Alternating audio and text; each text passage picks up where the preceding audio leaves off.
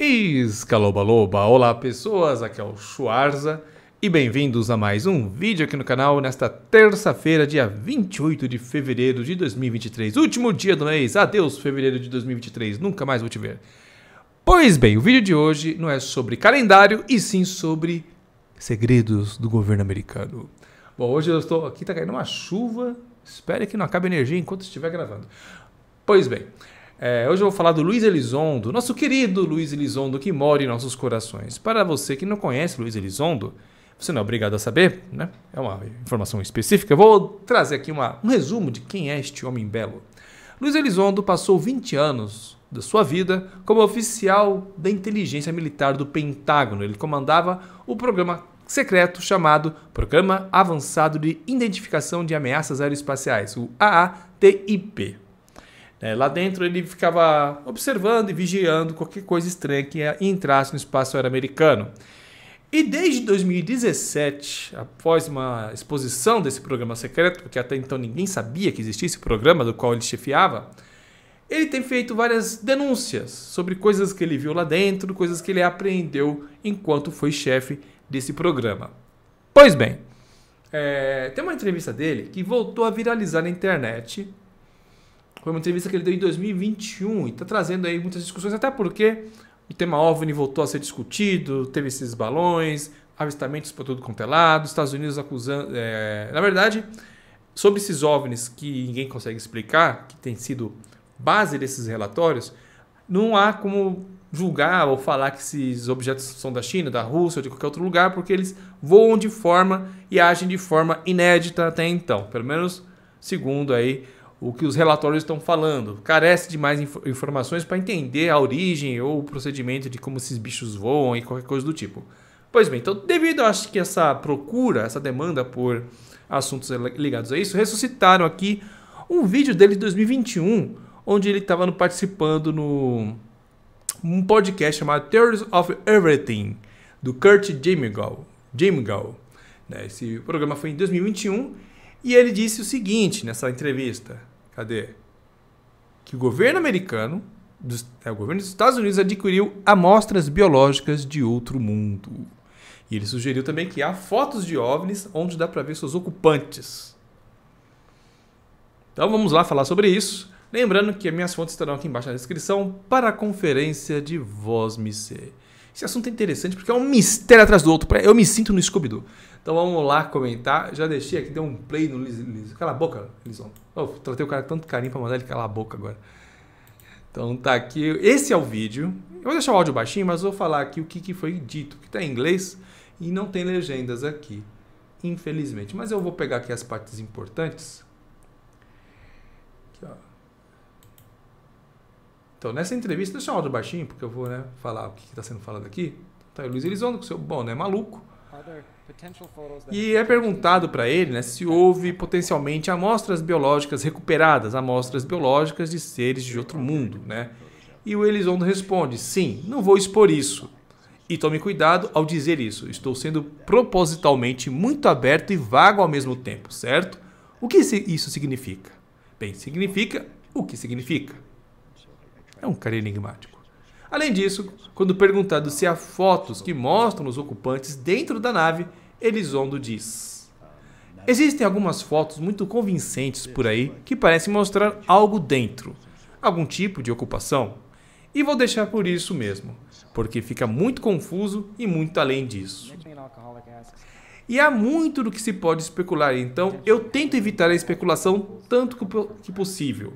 Mas sim, falei com muitas pessoas com conhecimento em primeira mão que não apenas relataram as naves que sabemos que existem, mas também potencialmente algum tipo de inteligência dentro desses veículos. Então foi isso que o Elizondo disse nessa entrevista. Vou deixar aqui embaixo na descrição. Tá, cabisbaixo do Elizondo, porque ninguém acredita nele. E aqui, até o site que eu estou usando aqui como referência diz que é estranho que ninguém esteja comentando sobre isso. Está tendo todo esse avistamento de OVNIs essa discussão vindo à tona novamente e ninguém fala disso, né? Ninguém tem comentado, debatido isso, trazido de volta. Então tem alguns. Isso aqui foi um tweet. De quem é essa, essa conta? É o Vic Verna. Né? É um cara aqui que tem. Deixa eu ver quantos seguidores. Uh, tem 1.800 seguidores. E o vídeo aqui está com 10 mil visualizações, esse vídeo aqui. Mas é um vídeo de 2021. E de alguma forma está repercutindo na internet de novo, justamente por conta dessa demanda, né? Por informações envolvendo UFO. Tá. Hoje na live, eu comentei o que eu acho do Elizondo. Vou repetir aqui. Né, o Luiz Elizondo. Ah, tem um vídeo que eu vou analisar junto com vocês antes de terminar. Mas vou falar rapidamente aqui do Elizondo. Deixa eu só ver como é que ele tá no OBS esse vídeo aqui. Se vai dar. Chabu. Uh... Acho que eu fiz merda. Deixa eu ver aqui se fica melhor. Não, fica pior. Deixa eu tentar reajustar aqui. É um vídeo. É o OVNI da Turquia. Vocês lembram, né? Que eu analisei esse vídeo aqui. Não, gameplay! Então, eu analisei esse vídeo um tempo atrás. E muitas pessoas comentaram: Schwarza, seu idiota. É, esse vídeo dá pra ver o ZT dentro da nave. Faça um serviço melhor. Então, estou aqui para rever esse vídeo junto com vocês. Mas antes, deixa eu falar o que eu acho aqui do Elizondo. Já consegui colocar bonitinho aqui. Então, Luiz Elizondo tem uma carreira, 20 anos trabalhando no Pentágono, num cargo de importância, de relevância, secreto até então, até 2017 era secreto, e tem a reputação dele a zelar. Eu não vejo por que um cara como ele ia falar coisas que poderiam acabar ferrando a reputação dele, ferrando o trabalho dele, ferrando a imagem que ele construiu durante esses anos. É um cara que, né? E então, eu, eu, de duas umas, ou ele tá ficando maluco, ou ele quer, sei lá, vender livro e ficar famoso, né, ser conhecido e fazer palestras e viver disso, ou realmente ele viu alguma coisa muito estranha que ele não consegue explicar.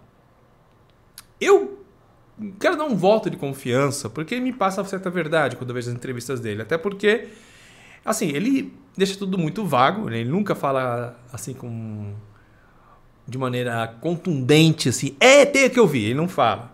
Né? Em nenhuma declaração dele ele fala, ah, eu vi alienígena. Ele fala só, vi coisas. Ele é tipo o mestre dos magos do desenho Caverna do Dragão. Ele nunca dá a resposta completa. Né? Ele sempre fica falando entre versos meio perdidos, meio vagos. E aí os moleques ficam tipo, caramba, Pô, como é que eu vou acabar com o Vingador? Você não me fala o que tem que fazer, seu, seu velho idiota. Então ele é tipo mestre dos magos, né? Ele só dá a resposta vaga porque ele tem até uma questão de... É, é, coisas que ele viu lá estão sob confi confidencialidade, né? Então ele é, são confidenciais, ele não pode sair por aí falando né? Porque pode, eu não sei se isso tem um embargo, se ele pode falar quando ele tiver com 89 anos, não sei como é que funciona isso. Sei que ele realmente tem isso, ele não pode sair falando coisas que ele viu lá porque são coisas secretas. Então ele fala coisas vagas, mas eu acho que por falar coisas vagas ele já deveria ser questionado pelos superiores dele, não sei. Enfim, estou especulando aqui. Então eu acho né, que ele tem muito a perder se ele falasse lorota. Então ele deve ter visto alguma coisa. Não sei o que foi que ele viu, mas eu acho que onde a fumaça for. Vamos ver então agora o OVNI da Turquia, porque me falaram que nesse caso aqui ele fala que tem fotos de OVNIs que dá para ver os ocupantes. Uma coisa que eu acho estranha nessa história toda é tipo ter janelas nessas naves, né? Para os ficar lá, oi, oi humanos, uh, sabe? Sei lá. Acho meio esquisito. Mas vamos lá. Então tá aqui o OVNI da Turquia que eu já abordei aqui no canal. Vocês lembram, né? Quem acompanha as lives viu em primeira mão. E eu falei que isso aqui é uma coisa. Foi um dos obje... objetos. Quase que não sai. Foi um dos objetos que eu cheguei aqui e falei para vocês. Gente, eu não sei explicar isso. Não me parece montagem. Apesar desse zoom incrível dessa câmera, mas enfim, foi um dos vídeos que eu falei, gente, eu não sei. Não me pareceu montagem, não me pareceu CGI. Fiquei assim na dúvida, né, com isso aqui.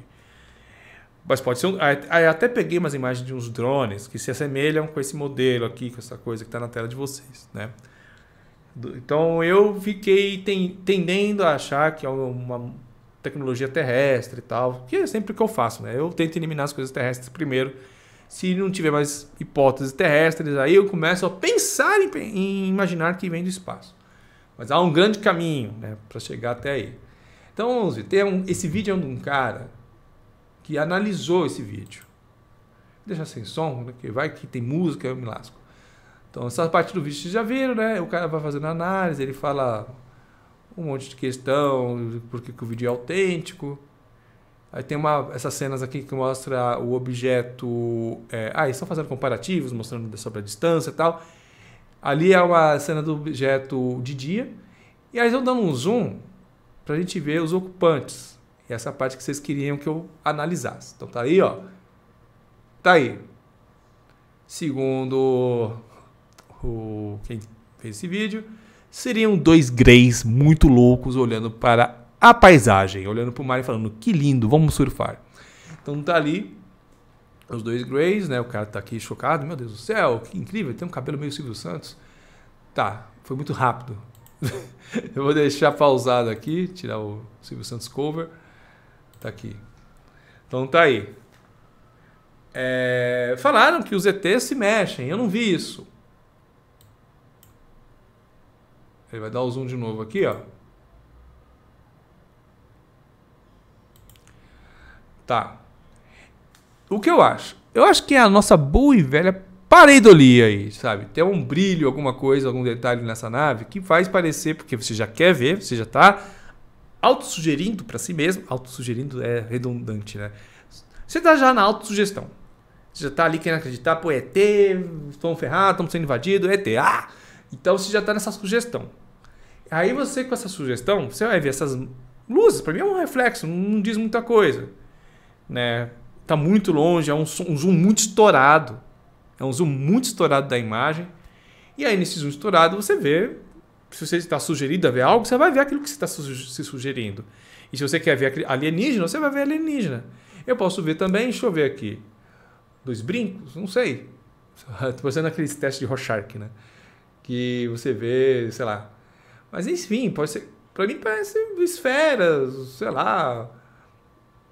Uma taça de ponta-cabeça, ou um tintim, parece que está né, fazendo um brinde aqui a, ao meu 1 milhão e 150 mil de seguidores aqui no canal. Enfim, é, pode ser qualquer coisa, gente. Eu não achei que isso é imagem de Grace dentro da nave. Né? Eu acho que é um reflexo, um brilho ou qualquer coisa do tipo que veio de longe. Deixa eu pegar até uma imagem mais aproximada. Ó, então seria isso aqui onde está o meu mouse que eles ampliaram. Eu vou tentar ampliar aqui no OBS. Vocês verem aqui o negócio. Tan, tan, tan. Calma, calma. Abrir um pneu mecânico. Dá um super zoom muito louco. Tá. Então foi essa parte aqui que eles ampliaram. Vocês estão vendo? É, deixa eu fazer a transição. Então tá vendo aqui, ó? É exatamente essa parte que eles deram zoom e falam que são dois grays. Gente, isso aqui é brilho. É brilho. Aí você vai ampliando, ampliando, ampliando, a imagem estoura. E aí você vê o que você quiser ver. Né? O cara que viu os grays porque ele estava suge é, sugestionado, acho que é essa que é a palavra, a ver isso. Você quer acreditar que nem eu falo das pesquisas do Planeta 9. As pesquisas do Planeta 9 é, tem gente, né, tem cientistas que fala que elas têm que, ter, têm que ser analisadas com cuidado, porque os cientistas estão procurando ele, o Batijin lá, eu esqueci o nome do outro astrônomo, eles querem muito encontrar isso, porque, pô, vai deixar o nome deles na história, né? Pô, você descobriu um planeta. Até hoje a gente chama as luas, maiores luas de Júpiter, as maiores luas de Júpiter de luas galileanas, porque foi Galileu e Galilei que encontrou. Então, pô, a gente chama até hoje pelo nome dele. Então imagina, né? Pô, todo mundo quer ter um astro para chamar de seu. Então, tá aqui, ó, o hiperzoom, né? Então, para mim, isso é, é luz, é reflexo de alguma coisa. O objeto em si ainda continua sendo um mistério para mim, né? Ele continua sendo um não sei identificar o que, que seria, pode ser um drone, qualquer coisa do tipo, né? Mas não tem uma resposta fácil. Infelizmente, esse OVNI da Turquia, que é um dos melhores vídeos desse tipo. Né? Mas esses grays que as pessoas falam que tem aí, eu não consigo ver. Para mim, é pareidolia forte. Essa é a minha opinião. Né? Agora, o que o Luiz Elizondo está dizendo que está vendo, que viu, né? ele viu fotos, o que eu acho complicado é que desde 2017 ele está falando dessas fotos, está falando, né? ele está jogando muito no vago. E, pô, já passou quantos anos? Né? Pô, 2017 para cá, são quase seis anos né? que ele está falando isso e até agora nada. Seis anos. Né? Então, sei lá. Que ele, se ele viu realmente alguma coisa, é que ele. Então, ele fica. Até aquele Jeremy Corbell, né? Que também tem feito documentários, entrevistado pessoas que são ligadas ao Pentágono. Todo mundo querendo respostas, já que o cara tá falando que viu coisas estranhas, ele, e o. O Liz Elizondo ele diz, né, que o, que o que a missão dele é que o povo americano, que o contribuinte americano saiba do que, que o, os americanos estão lidando, o que está invadindo o espaço aéreo deles, entendeu? Agora, o que, que ele viu? O que, que ele interpretou do que viu? Tem muitos poréns aí, tem muitas perguntas, mas eu estarei aqui para tentar solucionar esse mistério para vocês, que nem o Scooby-Doo vazia no final do desenho. Vou tirar, a, a, pegar a pele do Luiz Elizondo, puxar assim, é uma máscara e é um grey por, por debaixo. Se você gosta do meu trabalho, já sabe, é só deixar seu like aqui embaixo e se inscrever no canal para ficar por dentro dessas investigações malucas. E lembrando também, se você apoiar meu trabalho, quer apoiar meu trabalho aqui no YouTube, tem as, a Insider que é a patrocinadora desse canal. Se você quiser comprar roupas que tem tecnologia anti-odor e anti-suor, que ela não fica encharcada de suor no calor e que não prolifera aquelas bactérias no sovaco que exalam os odores, compre roupas da Insider. São tecidos inteligentes e para comprar roupas da Insider com desconto de 12%, é 12%, 12% é só usar o cupom SCHWARZA12 no link que está aqui embaixo na descrição. Será que o Luiz Elizondo usa roupas da Insider? Bom, enfim, vou ficando por aqui com mais esse vídeo. Um grande abraço para vocês e hasta.